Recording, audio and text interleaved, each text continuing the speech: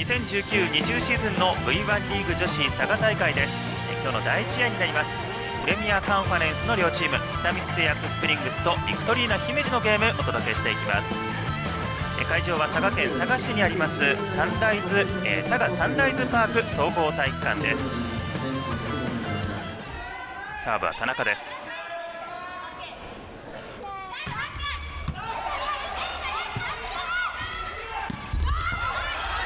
これも残します。そしてイブナ。うんただブロックにかかってコートに落ちます。同じくブラジル代表の選手ですからね、やっぱりこの辺の高さっていうのは分かってますけどもやっぱりっていうところで感じますね。これを逆にやられてしまうと苦しくなります。これもつなぐことができませんやはりこうカテゴリーが上がってくるとサーブとブロック力がだいぶ違うっていう話はよく聞きますので、はい、7連続ポイントです。久光です。石。井イビナが残します。おおうまく返した。さあこれを点につなげたい姫路。最後吉岡。今のは難しいですね。バックトスで多分ビッグイック上げてたと思うんですよね堀米選手なので非常に良かったですねコンビネーションとしては。うん前に落としてきたサービスエース。さあ田中がどうするか。またここも戸江です。これがアウト。さあ姫路追いつきました。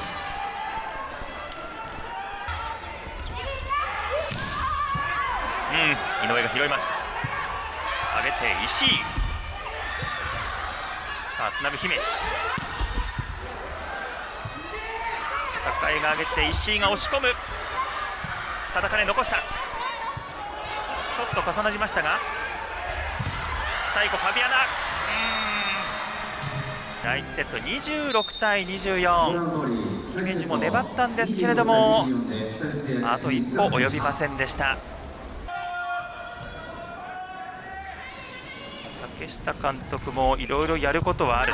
やること全部なんだけれどもまず特にディフェンス面はしっかりやりたいというふうに開幕前は話していました。で岩坂のブロードも決まります。ちょっと久光を止められません姫路です。バックアタックを使います。そして金杉のバックアタックだったんですがこれを止められます。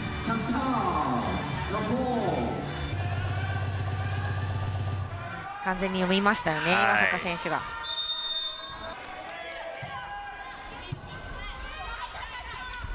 ああここは2でうまく決めました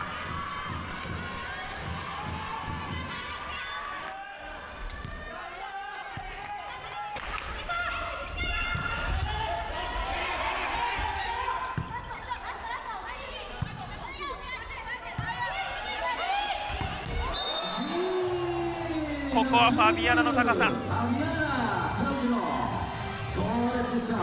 193センチありますファビアナです。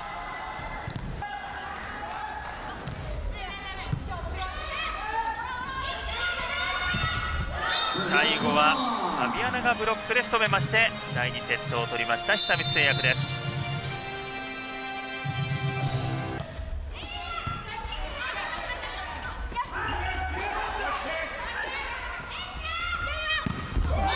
井上の強打。今のはいいですね、はい、高さも出ましたしもちろんブロックが割れたっていうのもありますけども今ぐらい振り切ってくれるといいですね。はい、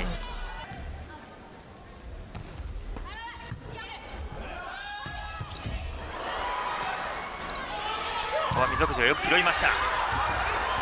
ただ新鍋もよく残した。イグナを使う。前に落としました新鍋の前でボールが落ちます。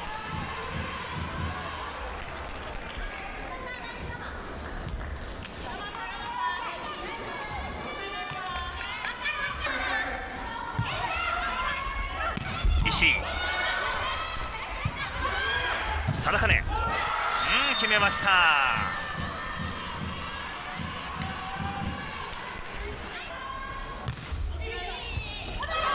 あここはサーブレシーブがちょっと乱れます。ああたあイブナが強引に持っていった。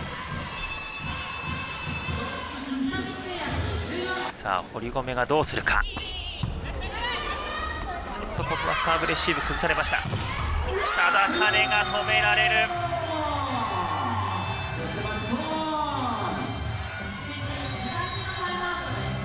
ここで岩坂の存在感です。サーブファビアナ。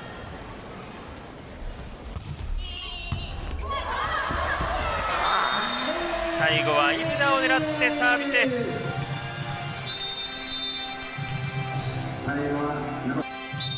セットカウント3対0久光製薬スプリングスが昨日に続いて勝利しています。キャプテンとして本当にもっともっとできることがあるんですけどこうみんなに助けてもらってばかりでもっと自分が引っ張っていく気でやっていかないといけないので課題ばかりです。はい